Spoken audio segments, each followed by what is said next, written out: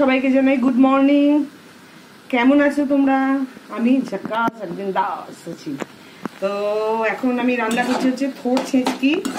যদিও থোর ছেঁচকিতে আমাদের কোনো রকম ভাবেও হলুদ দেয় না। কিন্তু আমি একটু দিয়েছি কারণ আমার থোরটা কালো কালো হয়ে যাচ্ছিল, সেই জন্য থোর ছেঁচকিতে একটুখানি হলুদ দিয়েছি।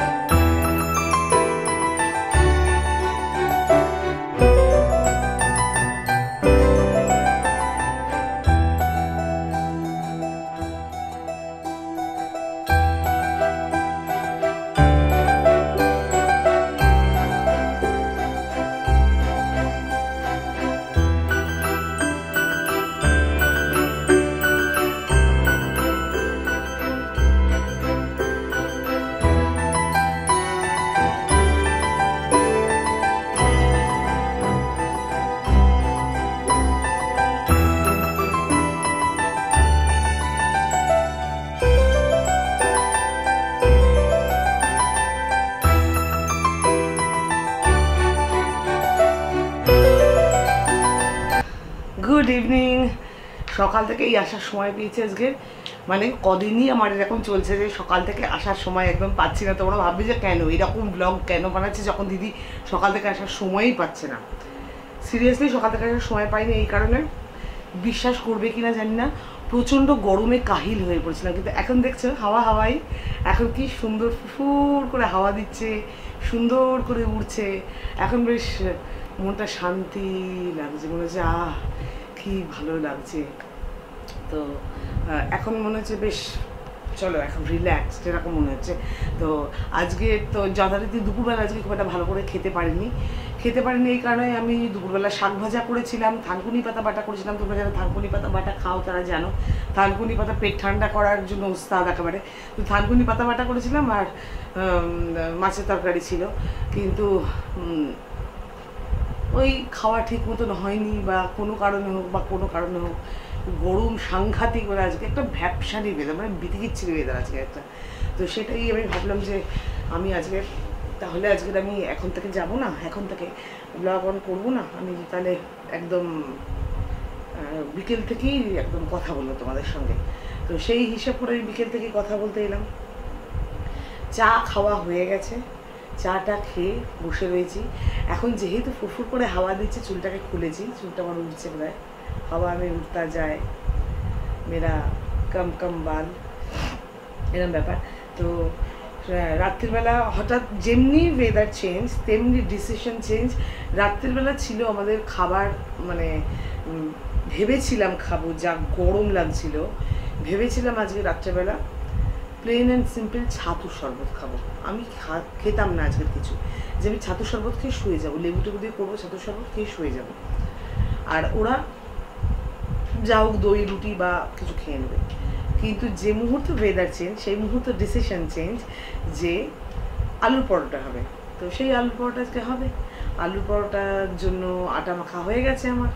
সব, সমস্ত কিছু মেখে, মেজে সব কিছু রেডি করে একদম বসেছি। মানে পেন্ডিং কাজ কিছু ফেলে রাখিনি। শুধু হ্যাঁ শুধু আলুটা সেদ্ধ হবে। আলুটা সেদ্ধ হবে, ঠান্ডা হবে দেন আলুর পরোটা হবে। আলুর পরোটা, দই দিয়ে আরামসে খাওয়া হয়ে যাবে। আমি হয়তো সাথে করে একটুখানি চাটনি বা চাটনি বুঝতে সরি আচার নিয়ে নেব একটুখানি সাথে করে। আমারই তৈরি করা আচার, আমারই কেরামতি, তোমরা জানো যে আমি আচার বানাতে ভালোবাসি আমার ছেলের জন্য। তো সেই আচার বানাবো। আর ওদিকে গুন্ডা, বিকু দুজনে যেমনি ওয়েদার চেঞ্জ সকালবেলা তারা ভালো করে একদম শ্যাম্পু করে, চান করেছে। যেমনি ওয়েদার চেঞ্জ বস বস করে ঘুমোতে শুয়ে পড়েছে। এখানে এখন বসে বসে আমি আর বাবু টিভি দেখছিলাম। তো তারপরে ভাবলাম যে, আর শুভময় ওখানে যথারীতি মোবাইলে খবর দেখে যাচ্ছে। তো আমি ভাবলাম যে চলো একটু তোমাদের সাথে কথা বলি। আর হ্যাঁ সবচেয়ে বড় কথা, ভুললে একদম চলবে না। Happy Mother's Day to you all to you all beautiful mothers সকলকে মাতৃদিবসের কোনো দিন হয় না, মায়েদের কোনো দিন হয় না।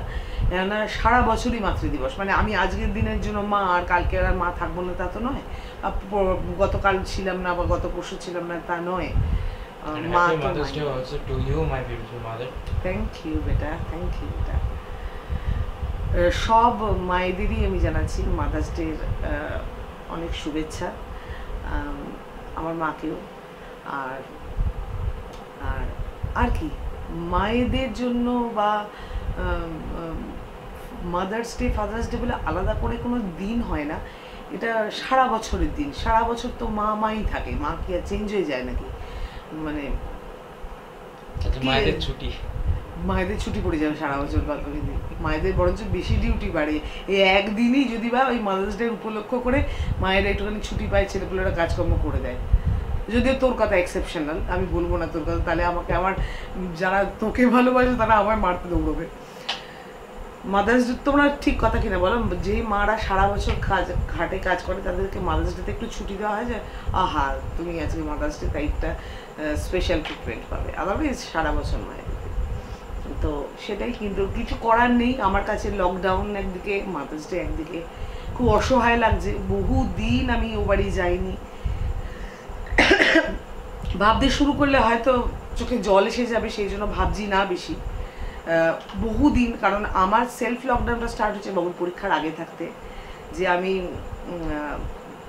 আমার সেলফ লকডাউন মানে পরীক্ষা বেরোবো না টেস্ট চলছে বেরোবো টেস্ট চলছে বেরোবো না এই সমস্ত করতে করতে আমার লকডাউন পিরিয়ডটা চলছে অনেক দিন যাবত কাজেই আমার দম বন্ধ করা একটা পরিবেশ হয়ে গেছে। কারণ আর জাস্ট এবার না মানে লকডাউন তো সবই চল্লিশ বিয়াল্লিশ দিন হয়েছে মানে থার্ড ফেজ চলছে। এটা তো মানে সরকার দ্বারা ডিক্লেয়ার্ড লকডাউন কিন্তু আমার ডিক্লেয়ার্ড ডিক্লেয়ার্ড লকডাউন তো অনেক দিন ধরে চলছে না। তুমি তো লাস্ট বোধহয় বেরিয়েছিলে সেই ইন্টারন্যাশনাল ট্রেড ফেয়ারে আমাদের তুমি চব্বিশে ডিসেম্বর বোধ চব্বিশে ডিসেম্বর। তারপরে আমার খেয়াল নেই আমি বেরিয়েছিলাম কিনা কিন্তু এমন কিছু আহামরি রিফ্রেশমেন্টের জন্য বেরোনো হয়নি। বাজার দোকান করতে বেরিয়েছিল বাজারে তো এখানে মাছ কিনতে সব এ কিনতে সবাই যায় যাই। তো সেটা কি আর বেরোনো হয় বাবু? আর জবে থেকে লং ড্রাইভে অনেকদিন যাও লং ড্রাইভে আমি যাই। সিরিয়াসলি অনেক দিন যাই হোক কিছু- আমিও যাইনি কিছু করার নেই কিছু করার নেই। তো এইভাবেই চলছে মানে খুব অসহায় লাগছে, নিজের ভীষণ অসহায় লাগছে যে আমি বাড়ির মধ্যে চার দেওয়ালের মধ্যে বন্দি, চারটে দেওয়াল, আমি, বাবু, ক্যামেরা, রান্না আর গুন্ডা বিকু ব্যাস, শুভময়। তাও শুভময় তো সব সময় অ্যাভেলেবেল থাকছে না বাড়িতে। ওর নিজের কাজকর্ম ওর কাজ যা হোক, তো সেইগুলো তো ওকে করতেই হবে, ও তো বাউন্ড সেগুলোতে। কাজেই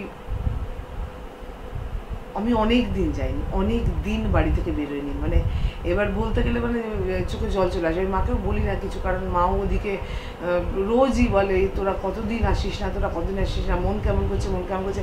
এবার এদিক থেকে যদি আমি বা বোন খুব অধৈর্য হয়ে উঠি, যাই না বলে, তাহলে মা বাবার খুব প্রবলেম হবে। কারণ একটা বয়সের পর না ধৈর্য ক্ষমতা মানুষের খুব কমে যায়। তো সেই জন্য আমি মুখে আর কিছু বলি না ঠিক কথাই। কিন্তু আমার আর ভালো লাগছে না। আর এবার অধৈর্য লাগছে যে এখন মনে হচ্ছে লকডাউনটা কবে উঠবে, কিন্তু আদতেই জানি না যে কী হতে চলেছে। তো চলো, আর কি, বকবক আর একদম করছি না। Happy Mother's Day to all beautiful mothers আর সবাই সুস্থ থাকো, ভালো থাকো। আর অবশ্যই আজকে রাত্রেবেলা যখন আমি আলুর পরোটা বানাবো, তখন অবশ্যই করে আমি আলুর পরোটাটা দেখাবো তোমাদের। আর আমার ইজি রেসিপিসে আলুর পরোটা এত সহজ প্রসেসে বানানো রয়েছে, ফাটবে না, ফুটবে না, কিছু হবে না, কোনো দিক থেকে ফেটে বেরিয়ে যাবে না। নতুন যারা তাদের জন্য এই পুরনোদের জন্য বলছি না পুরনোরা এক্সপার্ট যেমন তেমন খুশি করে পুরনোরা করতে পারে। কিন্তু নতুন যারা রুটি বেলতে শিখেছে পরোটা করতে চাইছে তাদের জন্য ফ্যান্টাবুলাস প্রসেসে করা রয়েছে আমি লিঙ্কটা অবভিয়াসলি ডিসক্রিপশন বক্সে দিয়ে দেবো।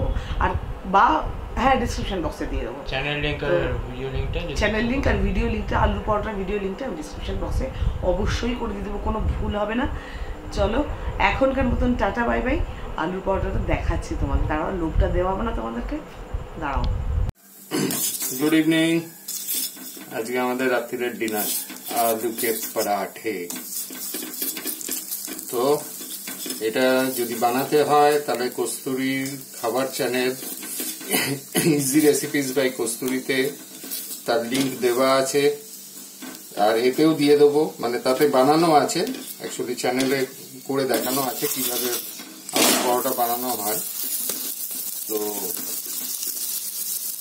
সেখানে আপনারা দেখে নিতে পারেন, যারা এখনও অনেকেই বানাতে পারে, যারা নতুন নতুন তারা বানাতে চায়, তারা অবশ্যই দেখে নেবেন কীভাবে বানানো হচ্ছে। চ্যানেল লিংক আর ভিডিও লিংক দুটোই একসাথে দিয়ে দেবো।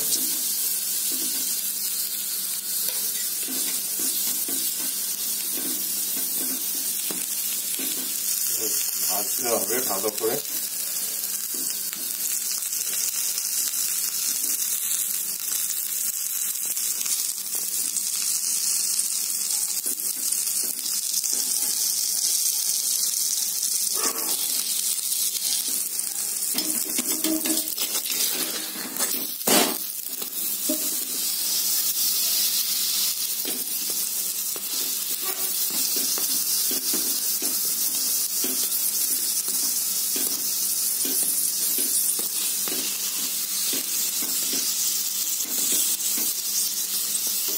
চলো তৈরি হয়ে গেল। আলুকে পরাঠে। ভাবে আছে। ভালো করে ডিটেলসে দেখতে গেলে কস্তুরি চ্যানেলে চলে যাবেন। ওখানে গিয়ে ডিটেলসে দেখে নেবেন। ঠিক আছে? চলুন।